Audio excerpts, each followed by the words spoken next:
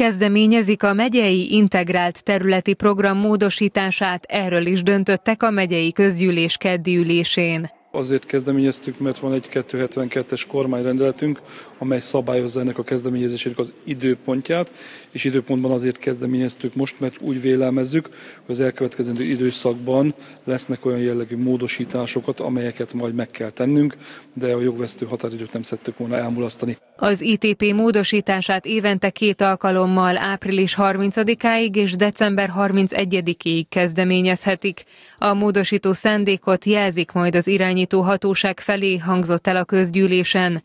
A témát érintő napirendi pontnál több képviselő is felszólalt, Veres János sérelmezte, hogy a megyei fejlesztési elképzelésekkel ellentétesen szerinte sokszor igazságtalanul döntenek a megye vezetői a pályázatoknál. Olyan aránytalanságok jöttek létre, hogy egy 33 fős választókerületben ebben a megyében 29 település benyújtott pályázatai összességében több mint 70%-ban kerültek elfogadásra, a maradék négy település benyújtott pályázatai pedig 10%-ban kerültek elfogadásra. Van olyan település, amelynek minden pályázatát támogatta ez a döntés, és van olyan település, amelynek egyetlen egy pályázatát sem támogatta ez a döntés. Azt gondolom, hogy rettenetes igazságtalanságok vannak ebben a döntésben, és teljesen nyilván, hogy nem szakmai oka van, hanem kifejezetten politikai oka van ennek a ö, aránytalanságnak. Az ülésen Helmeci László azt mondta, a fejlesztési lehetőségekkel kapcsolatosan mulasztottak a döntéshozók.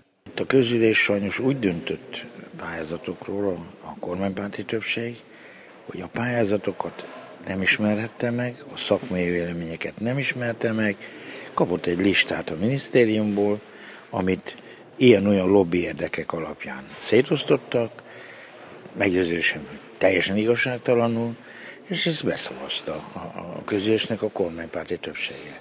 Holott maga a jogszabály azt mondja, hogy ha ezt a ránk oktroyált listát nem fogadjuk el, és azt mondjuk, hogy nem, akkor újra kellett volna tárgyalni.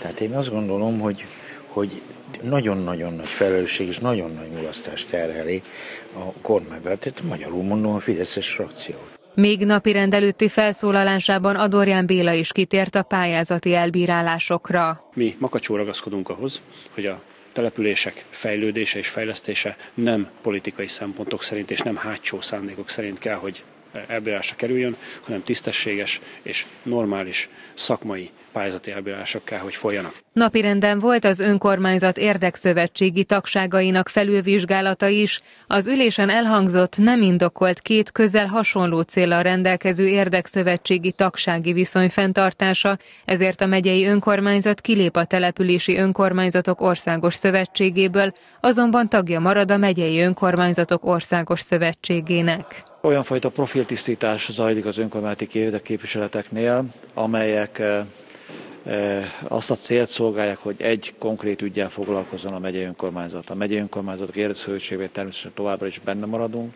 A települési, mint a neve is mondja, a települési önkormányzatok szövetségéből pedig kilépünk, hiszen a megyei önkormányzat területi önkormányzat, nem pedig települési önkormányzat. A testület meghallgatta a megyei katasztrófavédelem és a rendőrség beszámolóját is, valamint döntött a megyei kitüntető díjak adományozásáról is.